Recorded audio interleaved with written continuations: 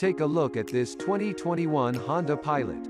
Equipped with an automatic transmission in. This car comes with some great features including adaptive cruise control, Bluetooth, alloy wheels, Android Auto and more. Come in and check it out today.